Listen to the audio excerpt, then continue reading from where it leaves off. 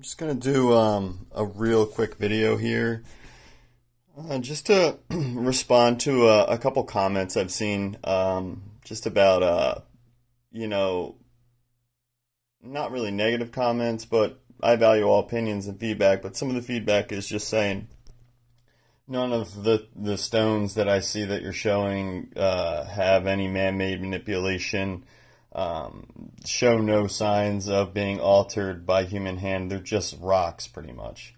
Um, well, this is something, fortunately, I have a pretty strong background in. Um, with my college background being strong on the geological side, and also took a lot of archaeological and anthropological classes, including a pretty extensive lab on stone tool, early human. It was boots on the ground in the field, and also we learned how to stone knap ourselves and use certain percussion techniques with flint and other materials.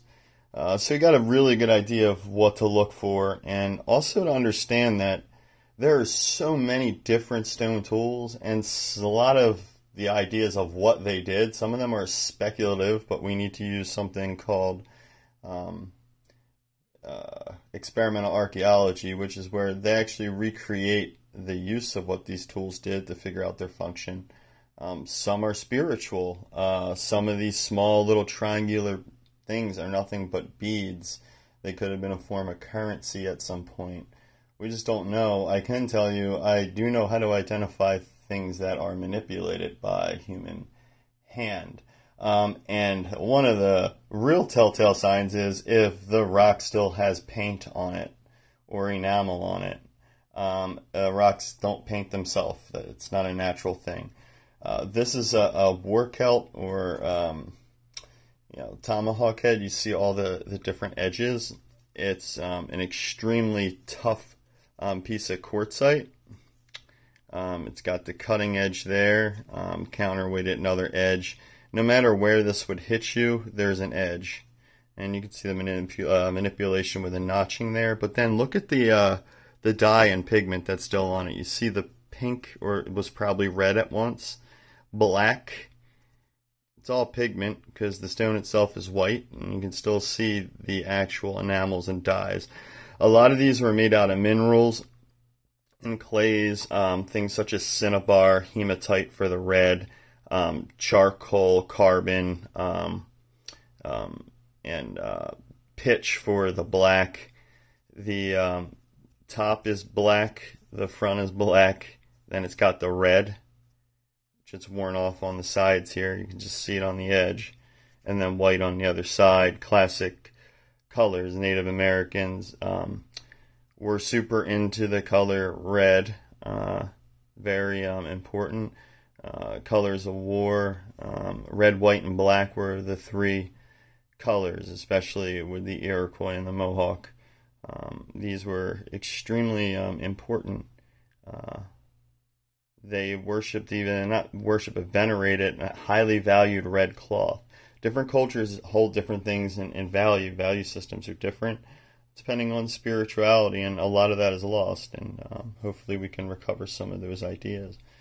Um, here's another piece. This is another a war item, very heavy um, type of rock, but we've got the pigment that red cinnabar um, hematite kind of glaze. Um, you can still see it on there, white, red, and black. Um, like I said, these rocks don't paint themselves, and they, they don't shape themselves like this. This is, uh, you know, this is very, very symmetrical and very purposely done. And you can look at it from all angles, and you can just see the symmetry and the shape for purpose.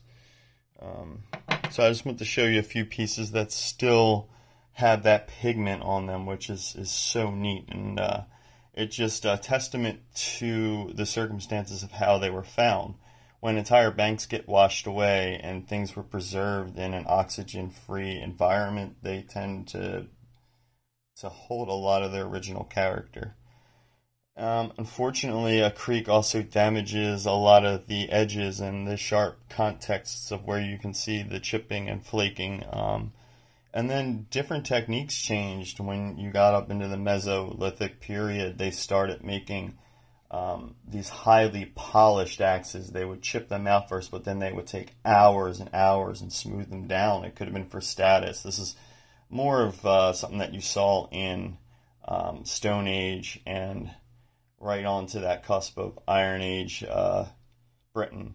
Um, so uh, there's an example of some that do hold their uh, definition still, and these are found in plow fields, not um, not in creeks. So you can see how much more detail is left on this point, almost like it was when it you know it was it was originally lost. The, the, the point is broken. Here's another one found in a plow field.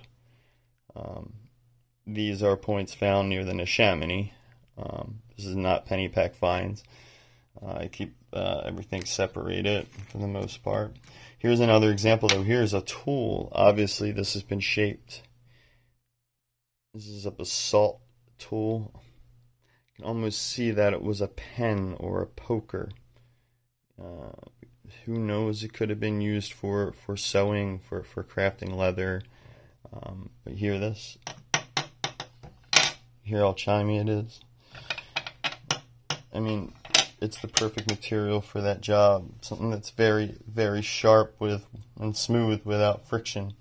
Kind of uh, a great replacement for metal. It's almost like a ceramic.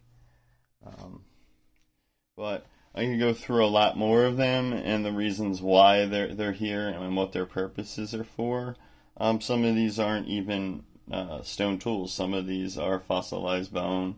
Um, some are objects that I have no idea what they were, so I, I, I scoop them up. They could just be trash. You, you got to research it. I save glass because it helps date certain things for us. Um, and I save pottery, but I'm going to do a whole other video on pottery because that's where you really start finding some interesting things with the dating and you can put some context. Uh, so. Uh, this is like my mad little laboratory room over here, but I just want to do a quick video, just put it out there that, you know, um,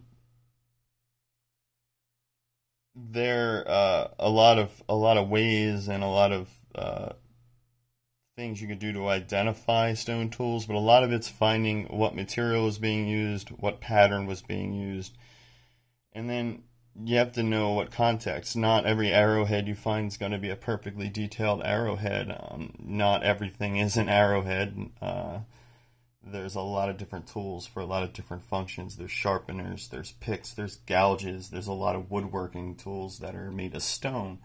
They chose rougher stone for sanding and woodwork. Um, I'm going to show you one more piece that's up in my case here before I finish this video. This was found after a washout at the one site I go to along the Pennypack. And you can see in context there were two tools and somebody was using the one to smooth the other out.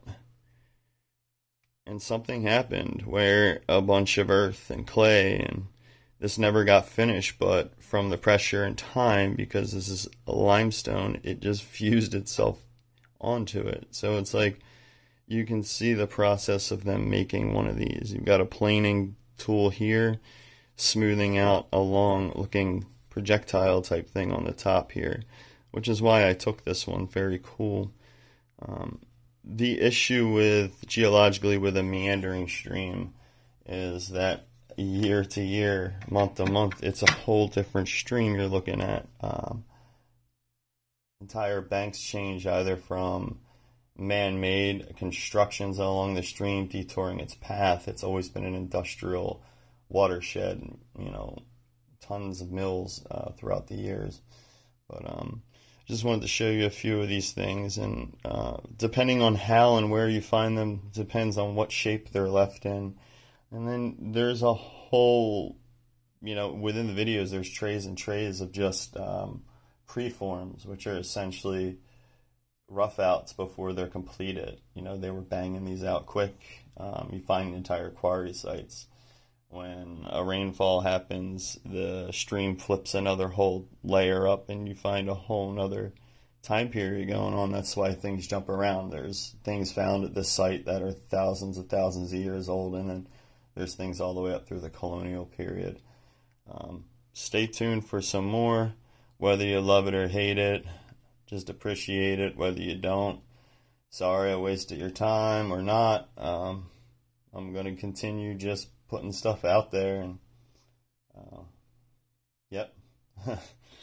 uh, you ain't gonna hurt my feelings, so, uh, love to all and, um, all opinions are welcome. Try to keep the hateful ones to yourself. If, um, if you want to know about anything, um, I'm putting together actually a doctoral, or I'm trying to, um, since psychology was what my degree is in, and archaeology is my minor, and uh, I'm just an amateur in that, I'm trying to get back into that field. Some of my collection was reviewed by people from Penn. Um, all of these were email correspondence. Um, most of them were very interested. Uh, you know, obviously, most of them agreed with the findings. Um, I can post some of that stuff. Um, a lot of my sources, they're going to be on a gigantic works cited page, trust me, um, by the end of all this. And when I put out a more official documentary down the road, um, I'm giving myself a couple year window to, to do that. All my sources will be there. Um, and it's not hard to research any of what I'm saying. Um, when I'm just doing stuff off the cuff. Some of my dates might be off a little bit, um, but a quick Google search will, you know, will correct that. But it'll lead you in the right direction anyway. Um, but when you look at the amount of people that were here prior to European and what we call civilization, there were thriving communities and civilizations of millions of people. There were sophisticated cultures, religions, beliefs. There was probably a written language that we're overlooking or we wiped out.